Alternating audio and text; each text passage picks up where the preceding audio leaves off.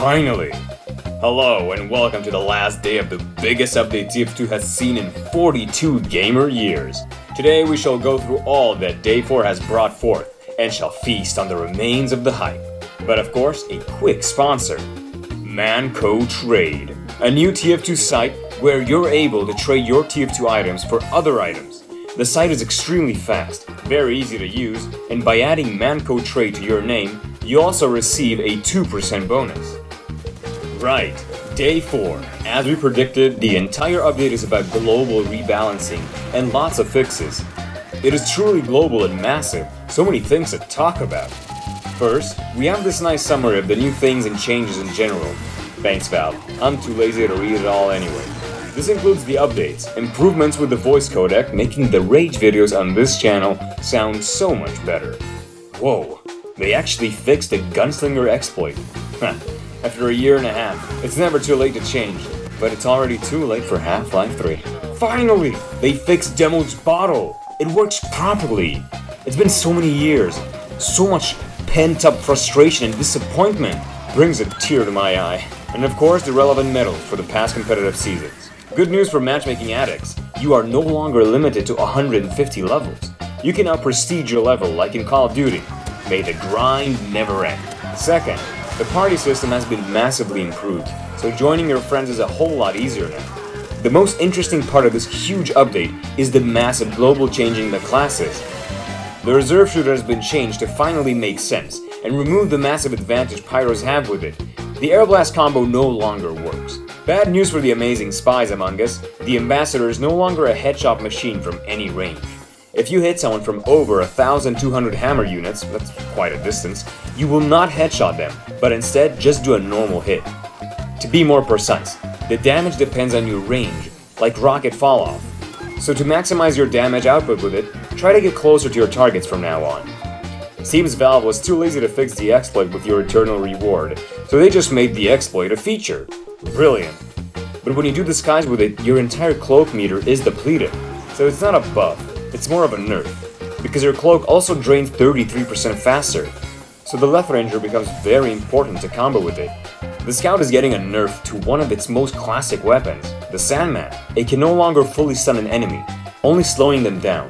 So no more home runs, nerfed. Just to put some salt into the wound, the Flying Guillotine can no longer crit players. Double nerf. So no more fun throwing combo. The Soldier's base jumper is also getting nerfed, reducing its air control. Great. But on the upside, the Mantreads are getting a great buff. You have 75% immunity to any pushback source, and 200% more control in the air, finally making them more useful. The Bison is getting reverted back to its original design. Welcome back, old friend. I was waiting for you for so long. The Sniper's Darwin shield is getting fully reworked to have 50% fire damage reduction, a good way to counter Pyro's new techniques. Also, you can no longer be overhealed while having the Razorback equipped, so the choice is obvious now. Be stronger against spies or pyros. To quit or not to quit? That is the question. The Medic's Vita-Saw got reworked as well. Now you must hit enemies to collect their vital organs. With each organ, you preserve 15% of your Uber on death. This caps at 60%. Interesting concept, but not something that would work in real competitive or even pubs that aren't brain dead. But it's nice to see Valve is trying to bring that weapon back to life. Not that it ever was. Also, the overcharged build rate with the famous Crusader's crossbow is reduced so enjoy the nerf. The Heavy's pre-fire nerf of low accuracy and low damage can now be removed by simply pre-spinning for at least one second before firing. Thanks Valve. At least that's nice. The banana is getting added as well, with 200 HP healing per use, giving a small medkit when dropped. 10 second recharge. The Engie is getting another nerf. Thanks Val. We just talked about how much you messed up Engie, and now you do that again. Thanks. It's the Rescue Ranger's turn with it now consuming metal whenever you repair a building with it, just ruining the whole point of it, removing a major part of its usefulness.